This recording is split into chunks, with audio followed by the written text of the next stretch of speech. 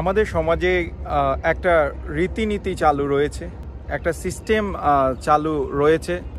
সেটা মনে হয় আমাদের নোয়াখালীতেই শুধু সিস্টেমটা চালু আছে। সেটা কি বাংলাদেশের অন্যান্য ডিস্ট্রিক্টে চালু আছে কি না আপনারা আমার কমেন্ট বক্সে কমেন্ট করে জানাবেন। সেটা হচ্ছে, রমজান আসলেই, কোরবান আসলেই আমরা বোন বিয়ে দিয়েছি, বোনের বাড়িতে ইফতার পাঠাতে হবে। এটা একটা সিস্টেম। আমরা কোরবান আসলে বোন বিয়ে দিয়েছি, নতুন করে বোনের বাড়িতে গরু পাঠাতে হবে, এটাই সিস্টেম। নতুন বোন বিয়ে দিয়েছি, ফার্নিচার পাঠাতে হবে, এটাই সিস্টেম। কিন্তু এই সিস্টেমটা, এই রীতিনীতিটা একটা স্তরের মানুষের, সমাজের স্তরের মানুষরা এটা কি করতে পারে? এটা করতে যেয়ে এই সিস্টেমটার কারণে সমাজে যারা নিম্ন মধ্যবিত্ত আছে ইভেন মধ্যবিত্ত শ্রেণির লোকেরাও গরিব, অসহায় মানুষরাও হিমশিম খায়। মেয়ের বাড়িতে গরু পাঠাতে গিয়ে, মেয়ের বাড়িতে দামি ইফতার পাঠা, পাঠাতে গিয়ে, মেয়ের বাড়িতে দামি ফার্নিচার পাঠাতে গিয়ে অনেক লোক, সমাজে অনেক বাবা, অনেক বড় ভাই হিমশিম খাচ্ছে। এই সিস্টেম কি সঠিক সবার জন্য?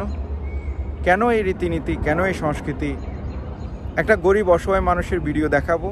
সেই খেতে পারে না তারপরও চিন্তা করে মেয়ের বাড়িতে কীভাবে ইফতার পাঠাবে?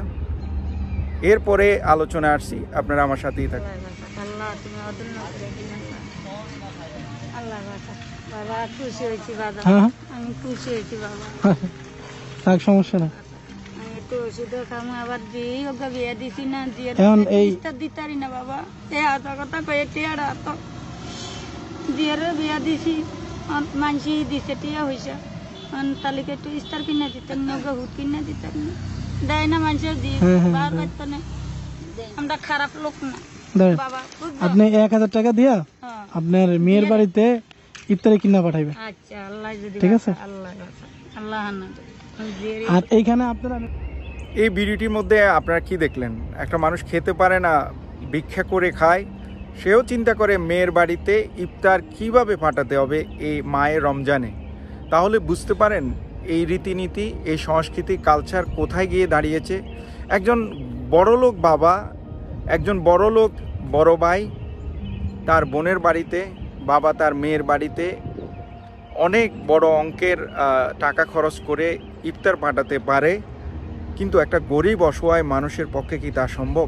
একটা নিম্ন মধ্যবিত্ত মানুষের পক্ষে কি সম্ভব?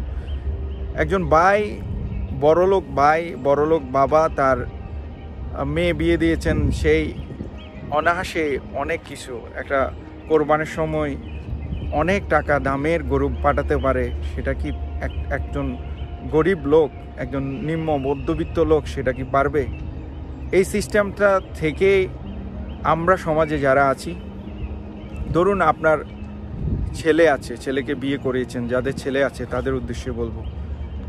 আপনারা শ্বশুর শাশুড়ি যারা আছেন যারা ছেলেকে বিয়ে করে এনে নিয়ে এসেছেন, বৌমা, আপনাদের বৌমাকে আচার আচরণে, কৃষ্টি কালচারে যদি এই সমস্ত রীতিনীতির জিনিসগুলা না আসে, মেয়ের বাড়ি থেকে যদি শাশুড়ির কাছে না আসে, শ্বশুরের কাছে না আসে, অনেক শ্বশুর শাশুড়ি আছে, তারা মনে কষ্ট নেই, তারা বিভিন্ন রকমের বডি ল্যাঙ্গুয়েজে তাদের বউকে বোঝানোর চেষ্টা করে যে তোমার বাপের বাড়ি থেকে কেন এগুলো আসছে না। তাই তাদেরকে বলব আজকে আপনাদের মানসিক পরিবর্তনের দরকার। আপনাদেরও একটা মেয়ে আছে, হয়তো কারও কারও আপনারাও মেয়ে বিয়ে দিবেন। আমরা যদি সবাই মিলে এই সমস্ত কালচার থেকে বেরিয়ে আসতে পারি, তাহলে আমাদের সমাজের এই রীতিনীতি বন্ধ করতে পারলে অন্তত লজ্জার হাত থেকে আমাদের এই নিম্ন মধ্যবিত্ত ইভেন মধ্যবিত্ত শ্রেণির ইভেন গরিব অসহায় যারা আছে, তারা অন্তত রক্ষা পায়। যে যেখান থেকে আমার ভিডিওটি দেখছেন, সবাই ভালো থাকবেন, সুস্থ থাকবেন। সমাজে এই কালচারটাকে আমরা না বলি যে মেয়ে বিয়ে দিয়েছেন এই কারণে নতুন করে গাড়ি ভর্তি করে ফার্নিচার দিতে হবে, মেয়ে বিয়ে দিয়েছেন এই কারণে নতুন করে দামি ইফতার পাঠা- পাঠাতে হবে, মেয়ে বিয়ে দিয়েছেন, আপনার দামি গরু পাঠাতে হবে। এই কালচার থেকে আমরা সবাই বেরিয়ে আসি। সবাই ভালো থাকবেন, সুস্থ থাকবেন। আল্লাহ হাফেজ।